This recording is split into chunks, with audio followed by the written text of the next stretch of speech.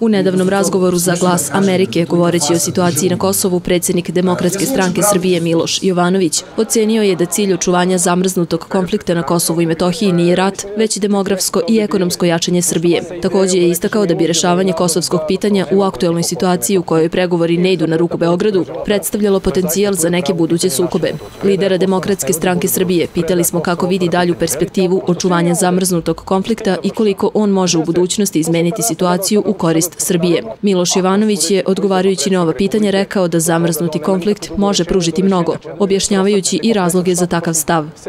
Pa može mnogo, baš zato što ako ga danas odmrzamo, ako danas pokušamo da rešimo, kako bi predsjednik Srbije Aleksandar Vučić rekao, taj konflikt ne može da se reši drugačije nego da se prizna secesija Kosova i Metohije. I što je tu najproblematičnije,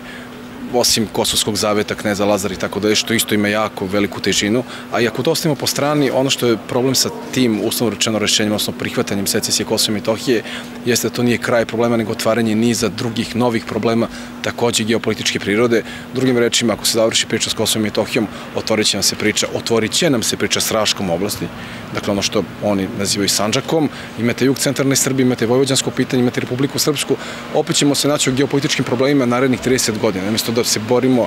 za uređenu državu, za bolje zdravstvo, bolje školstvo, veću zaposlenost, mi ćemo ponovo da se bavimo teritorijama i granicama,